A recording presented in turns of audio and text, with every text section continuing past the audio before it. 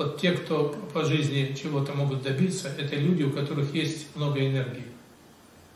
Если этой энергии нет, то о чем бы вы ни мечтали, какие бы проекты вы ни э, конструировали, какие бы попытки вы ни предпринимали, у вас ничего не получится. Деньги – эквивалент энергии. Любая идея, любой проект должны иметь энергию для реализации. А для того, чтобы энергию иметь, для начала не нужно ее терять.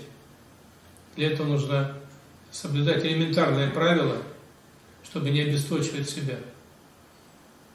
Так вот, для того, чтобы стать успешным, гармоничным человеком, нужно приводить свой характер в порядок ежедневно.